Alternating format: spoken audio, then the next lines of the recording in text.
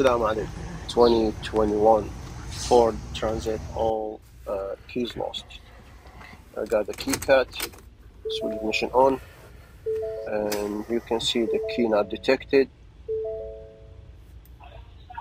And gonna start the program process. Accept the term.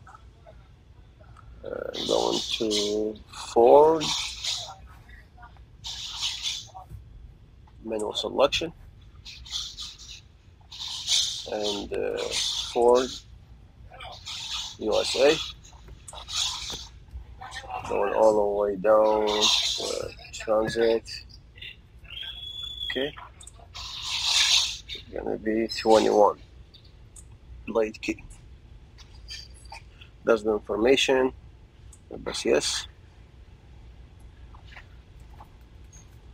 Okay let's go to control unit. Uh, immobilizer remote key learning. Uh, add key now let's uh, let's see how many keys on the system first. Okay.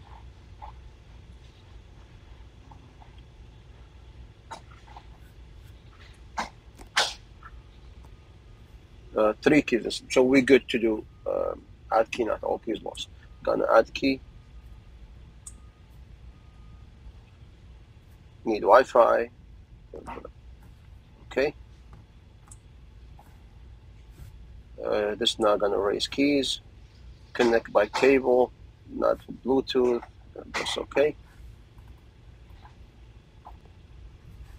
And please confirm the active alarm. No we don't have active alarm.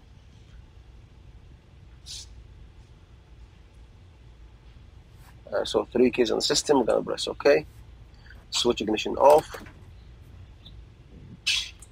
that's okay. Now we're gonna switch the ignition back on. Gonna press OK. Fail. So when it's fail, it's okay. Do it again, same step, repeat the step again. It's gonna go successful. I'll press OK to add another key. I will try again. Yes. Switch ignition off. Okay. And then I'll press OK. Now I'm gonna switch ignition back on. And press OK and going successful. So when the first time fail, uh, don't uh, you know say, "Oh, I can't do it." No, no, just do it again. It's gonna go successful. See the program successful, same key, same everything. Four keys in the system. Do another one. No. Uh, let's test the car and the remote.